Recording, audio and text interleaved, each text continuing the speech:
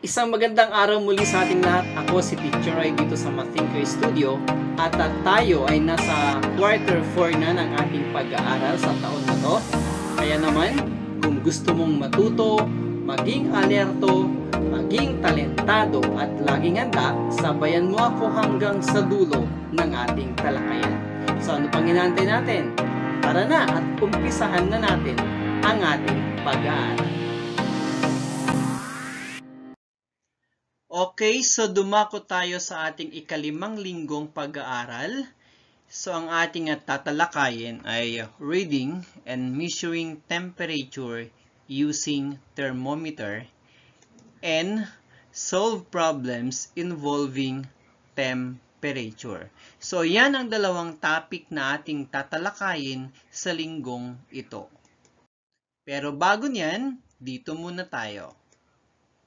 So, Uh, ang nakikita niyong larawan ay uh, isang magulang na dinalang anak sa isang clinic. And the mother accompanied her son to the clinic because he was not feeling well. The nurse used a thermometer to measure her son's temperature. They found out that his temperature was 39 degrees Celsius. It was higher than the normal body temperature, which is 37 degrees Celsius. So the nurse let him rest in the clinic while waiting for her parent to fetch her. So let us answer the following question. Why did the mother take her son to the clinic? Bakit dinala ng nanay ang kanyang anak sa clinic? Anong sagot natin dito? Because her son was not feeling well. Okay? Dahil ang kanyang anak ay may nararamdamang hindi maganda. Question number 2. What the nurse used to get her son's temperature? So, anong ginamit ni nurse para kunin ang temperature ng anak nito? Ang ginamit niya ay thermometer. At kung anong ibig sabihin ng thermometer, malalaman niyo yan sa pagpapatuloy ng ating talakayan. Next question. Why did the nurse use a thermometer? So, bakit uh, gumamit ng thermometer ang nurse?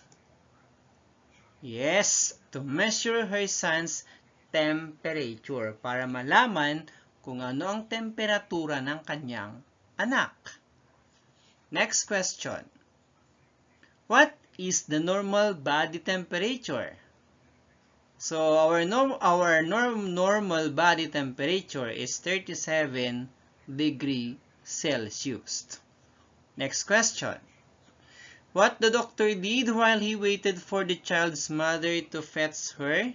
So, ano ang ginawa ng doktor o ginawa ng nurse sa anak bago or habang hinahantay niya ito na kunin mamaya.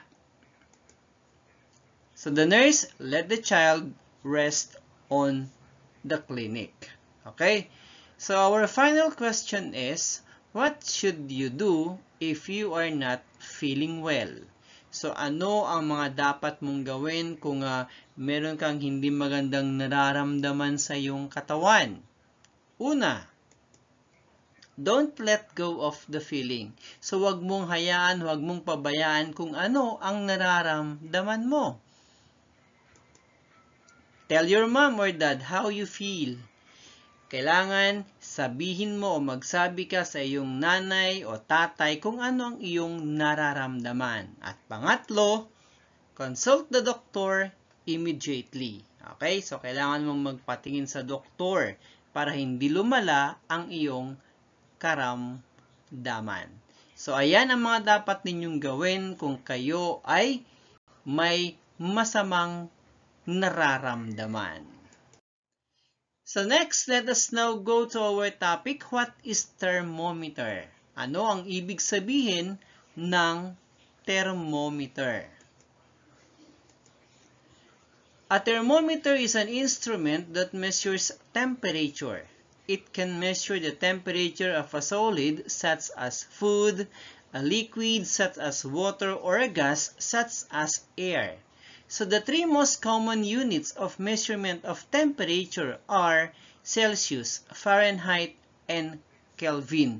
So ang thermometer ito ay isang instrumento na ginagamit para makuha natin ang temperature ng isang bagay. Mapapagkain man ito o kaya sa tubig o kaya sa hangin, makukuha at malalaman natin ang temperature nito sa pamamagitan ng thermometer. At meron tayong tatlong units na ginagamit sa temperature. Ito ay ang Celsius, Fahrenheit, at Kelvin. Okay? So, meron tayong iba't ibang uri ng thermometer. Meron tayong tinatawag na digital thermometer. At ito ang mga halimbawa ng digital thermometer. Ay, ang dalawang yan. So, yan, pag may makita kayong ganyang dalawang uh, thermometer na yan, ang tawag dyan ay digital. Bakit tinawag na digital? Kasi, pag itinutok mo yan sa parte ng katawan ng tao, ang lalabas ay number. Okay? Kaya tinawag na digital kasi agad na malalaman mo kung anong temperature mo. Okay? Isa pa ay ang clinical thermometer. So, ayan, kung kung naki, kung may nakita na kayong ganyang thermometer, ayan, yan ay ginagamit naman sa tao Pwedeng ilagay yan sa kilikili, pwedeng ilagay sa bibig, okay? O iniipit yan sa parte ng katawan. At ang tawag sa dalawang yan ay ginagamit sa body temperature. At meron pa tayong isa dito, tinatawag nating air thermometer, na kung saan ito ay ginagamit sa indoor or outdoor atmosphere. Kagaya sa Baguio, kaya alam natin kung gaano kalamig ang Bagyo dahil yan sa air thermometer na ginagamit nila. Okay? So next, what is temperature?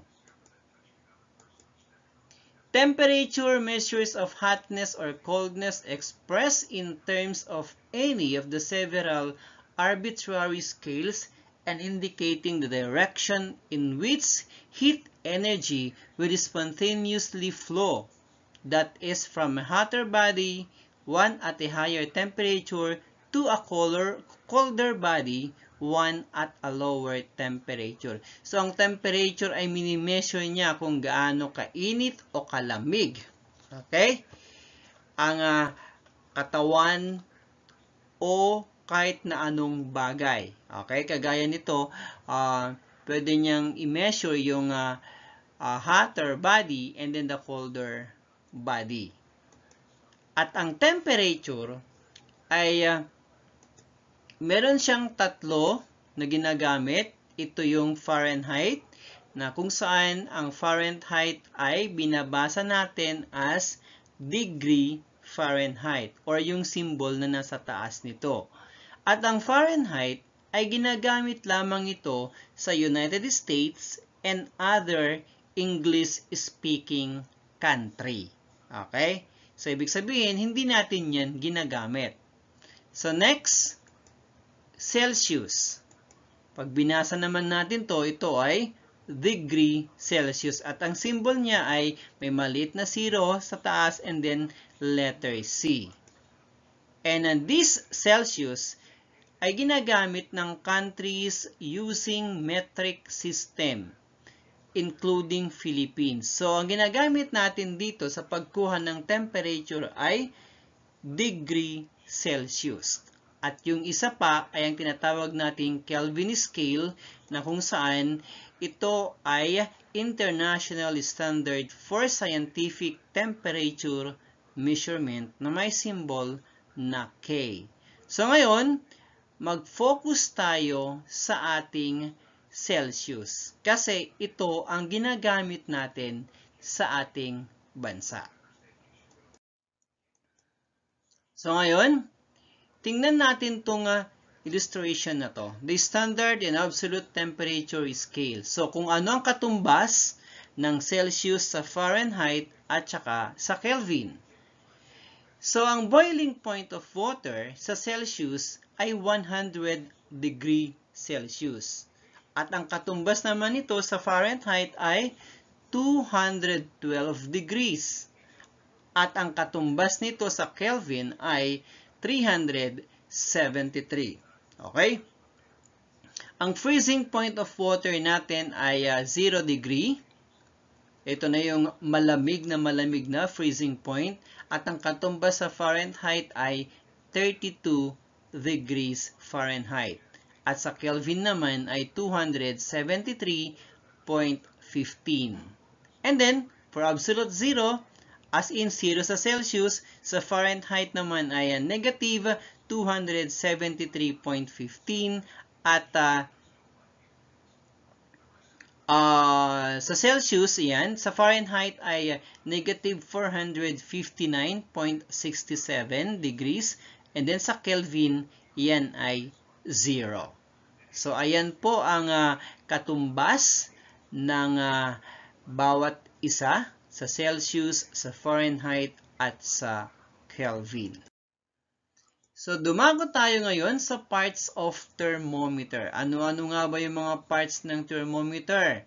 Bakit nga ba to gumagalaw? Ano-ano nga ba yung mga iba't ibang parte nito? Okay, ito ay isang uh, uh, larawan ng ating thermometer. At yan ang tinatawag nating glass tube or filled with mercury. Okay, kung saan dito nakalagay yung mercury o alcohol. At ang tawag doon ay glass tube. Next, we have the scale. Shows the temperature. So, kung saan nakatapat ang ating mercury, yun ang scale tinatawag. Okay, kagaya niyan. Pag nakatapat yan sa 30, that is 30 degree Celsius. Okay? The next, bulb temperature sensor. So, yung bulb na yan, na nasa baba, ito yung sensor. Okay? Pag naiinitan yan o nalalamigan, pag mainit o malamig ang panahon, nase-sensor niya. At, pag na-sensor niya nito, ang mercury o alcohol na nasa loob ng glass tube, ito ay ang liquid inside the scale goes up and down as the temperature changes. So, tataas yan o bababa yan kung ano ang masensor ng bulb na nandyan sa baba. Okay? So, let us read the temperature. So, subukan nating basahin kung ano ang uh, temperature nito. So, pag napansin natin, pag tinignan ninyong mabuti, ang uh, temperature nito ay 39.8 degrees Celsius. Okay? So, malapit siya sa malapit siya sa 40. Ito, malapit siya sa 40. Dali, ipakita natin. So, malapit siya sa nasaan na? Hindi ko nakikita. Okay? So, malapit siya sa 40. Ito yun siya, ito. Ayan. Okay? So, next. Ito naman, lagpas ng 39 at ito ay 39.2 degree Celsius. Next, ayan, kitang-kita, that is 39.5 degree Celsius. And uh, next is 36.6 degree Celsius, 37.8 degree Celsius, and 39.5 degree Celsius. So, ganyan lang yan kung paano basahin ang temperature, lalo na pag digital ang gamit, ay tingnan lang kung uh, saan uh, nakatapat yung red. Ayan. At kung digital naman na yung dalawang nasa baba, babasahin lang po kung ano yung lalabas sa screen nito. So now let us now proceed to solve, solve routine problem. Ano nga bang ibig sabihin ng routine problem? So solving involves using at least one of the four arithmetic operation. Okay? So ang routine problem ay uh, meron lamang siyang isa sa ating apat na arithmetic operation. Ano nga ba itong ang arithmetic operation na tinatawag? So, meron tayong addition, subtraction, multiplication, and division. And then, isa pa, it has an immediate answer. So, ibig sabihin, madali lang itong sagutin. So, subukan natin itong example na to. At 8 o'clock, a.m., Rex went to the kitchen to bake banana cakes for her friends. He noted that the temperature was 25.5 degrees Celsius at lunch time. The temperature rose by 11.2 degrees Celsius. What was the temperature at lunch time? Okay, so si Rex ay uh, nagpunta sa kitchen para mag-bake ng banana para sa kanyang kaibigan at uh, napansin niya na ang temperature ay 25.5 degrees Celsius. Okay? At uh, pagdating ng tanghali ay tumas ito ng 11.2 degrees Celsius. Ang tanong, ano ang temperature sa lunch time? Okay, so let us analyze the problem. What is asked? The problem asks for the temperature at lunch time. Okay? So, yun ang tinatanong ng problem natin. Next, what are the given facts? So, the given facts are 25.5 degrees Celsius. Ito yung temperature at 8 a.m. At 11.2 degrees Celsius, rise of temperature at lunch time. And the next question is, what operations will you use to solve the problem? So, we are going to use addition. Bakit? Because, ginamit niya ang salitang rose means the temperature increase. So, pag nag increase siya, gagamit tayo ng addition. Next question is, what is the mathematical sentence? Or what we call the mathematical equation. Ang ating mathematical sentence is 25.5 degrees Celsius plus 11.2 degrees Celsius is equal to n. And then, let us solve. I-add natin yung 25.5 degrees Celsius and 11.2 degree Celsius. So, the answer is 36.7 degree Celsius.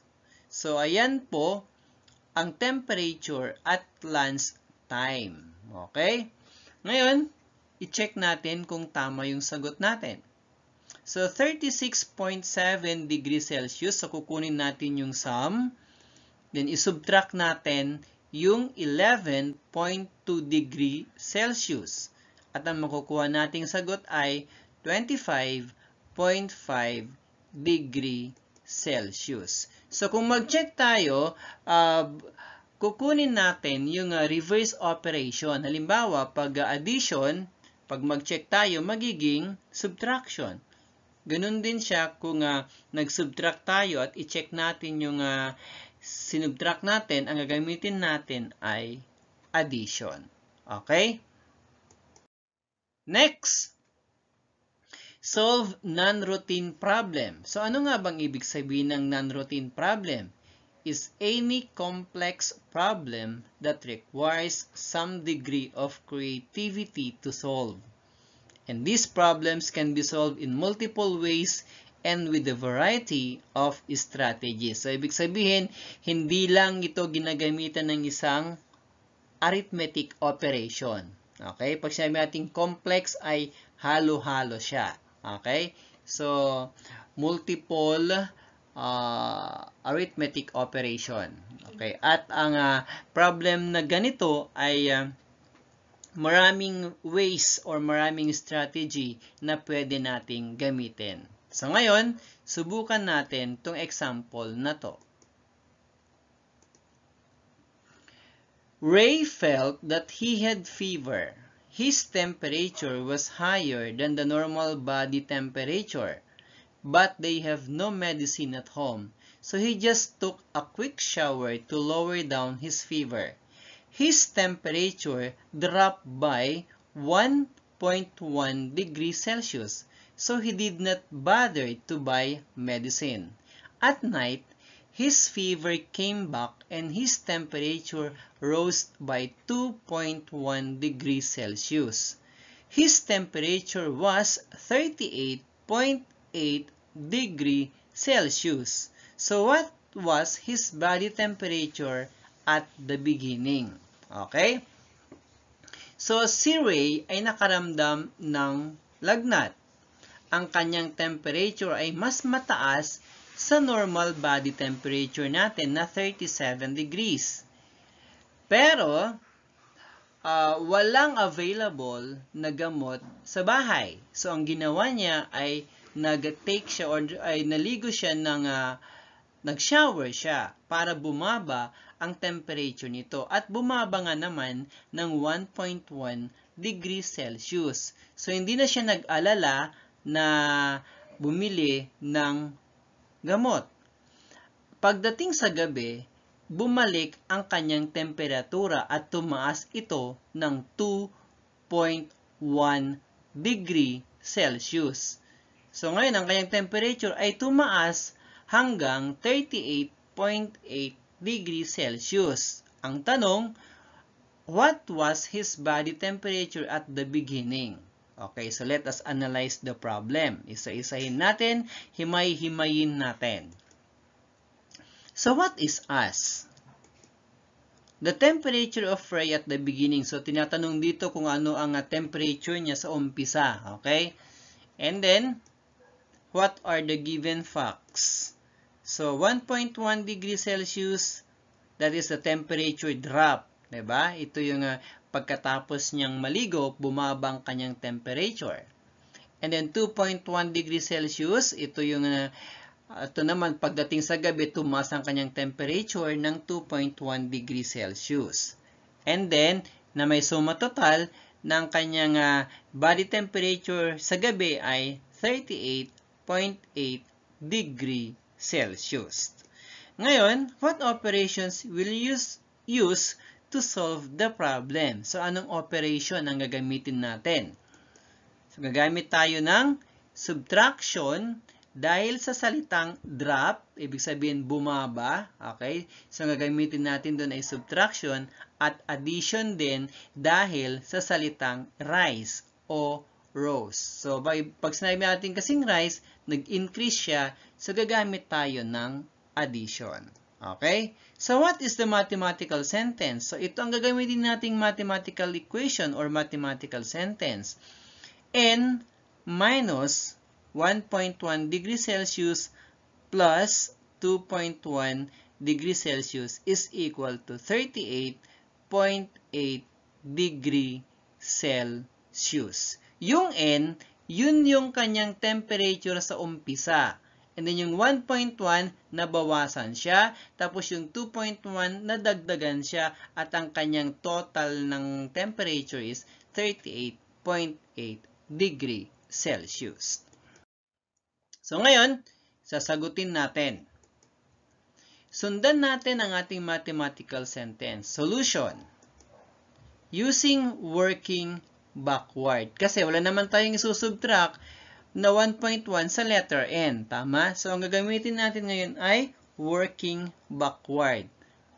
Pag sinabi natin working backward, gaya ng ginawa natin ng nakaraan, ay uh, babaguhin natin ang operation niya. Kung uh, working backward, kung addition, magiging uh, subtraction. Kung subtraction siya, magiging addition. Okay? So, subukan natin. So, 38. So, ayan na ang ating susundan. So, 38.8 degrees Celsius minus 2.1 degrees Celsius plus 1.1 degree Celsius. So, kung napapansin nyo, dito, addition, naging subtraction. Dito naman ay subtraction, nagiging addition. Okay? So, sagutin na natin. So 38.8 degrees uh, degree Celsius minus 2.1 degree Celsius.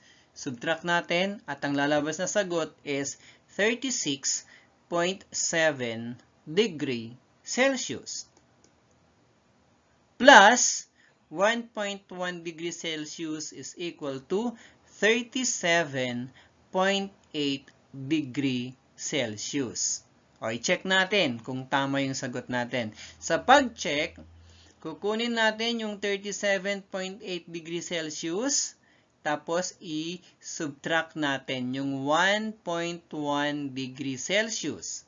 So, ang difference is 36.7 degree Celsius. Saka natin i-add ang 2.1 degree Celsius at ang sum nito ay 38 0.8 degree Celsius. So, to check, change the operations addition to subtraction, then subtraction to addition. Gaya ng sinabi ko sa inyo kanina. So, ngayon, ang uh, ah, 37.8 degree Celsius ay ang temperature ni Ray at the beginning. Okay? So, yun po ang kanyang temperature sa umpisa. So, pag tingnan nyo yung uh, dito sa check natin, ay saktong-sakto na nakuha natin yung sagot na 38.8 degree Celsius dito sa baba. Okay? Okay. So, another problem So we have here the temperature reported yesterday at 8 a.m. 32 degrees Celsius, at 9 a.m. 34 degrees Celsius, at 10 a.m. 35 degrees Celsius, at 11 a.m. is 37 degrees Celsius. What was the average temperature? Okay, so what is us? The average temperature reported yesterday. What are the given facts? The given facts are 8 a.m. is 32 degrees Celsius, 9 a.m. is 34 degrees Celsius, 10 a.m. is 35 degrees Celsius, and 11 a.m. is 37 degrees Celsius. Then, what operations will you use to solve the problem? So, addition. Bakit addition? Kasi kailangan natin kunin ang total degrees of temperature muna. And then, division to get the average temperature. Okay? So, gawin na natin. So, what is the hidden question? So, bago natin sagutin, kailangan natin na sagutin itong hidden question. Ano nga ba to? Ibig sabihin, may nakatagong tanong dyan na kailangan nating sagutin. Ang, ang tanong na yan ay, ano sa tingin nyo? Okay. So, ang tanong na nakatago ay the total degrees of temperature reported yesterday. Okay? So, ngayon, what is the mathematical sentence? So, ito ang mathematical sentence na gagamitin natin. I-add muna natin yung apat na reported temperature.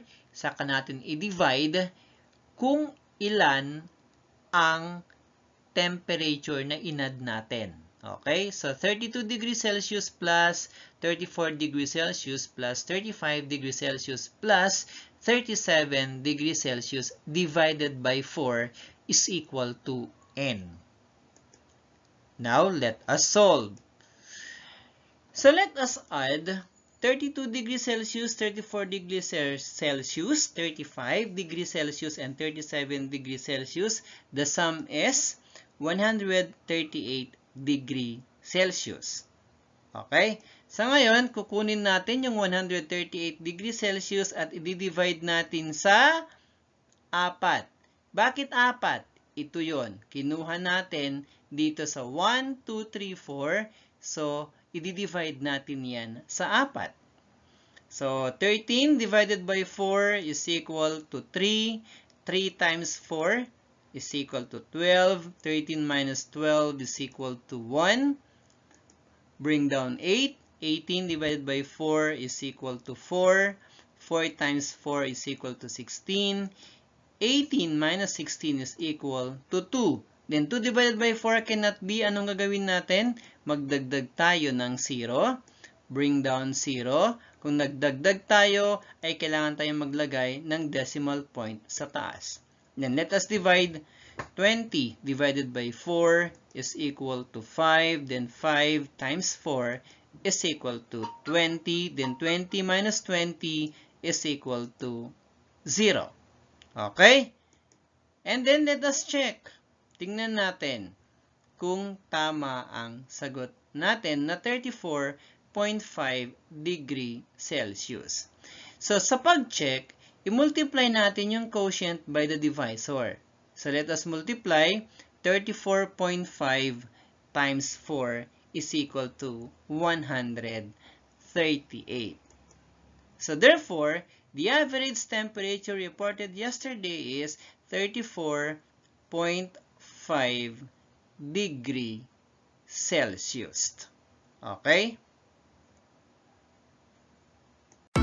Okay, so bago tayo magpaalam, i-shout out muna natin ating mga subscribers at mga viewers sa ating mga videos. Okay, so umpisan natin kay uh, Princess Procarpio Diaz, Agatha Macale, Regina Isidro, Carl Angelo Abalie, Brent Harrell Mondragon, Ashley Dian, Angeline Concepcion, at uh, meron pa dito si Despair, Alvin Glenn Bernabe, Rohana Santiaguel or Santiaguel, Gwen Stephanie Silva, Miukali Azcuna, Kayla Lorraine Tabancura, then Florizel Busalpa, and Beatrice Princess Mia Renada. Sa inyong lahat, maraming maraming salamat sa patangkilik at patuloy niyong pagsubaybay sa ating mga videos.